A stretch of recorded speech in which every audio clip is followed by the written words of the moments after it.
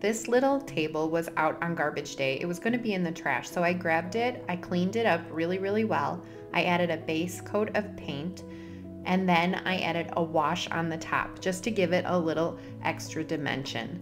If you want to see how to do a wash, I'll leave a link in the description box below for an in-depth video. Then I added a furniture transfer in a few different spots on the table just for some extra interest.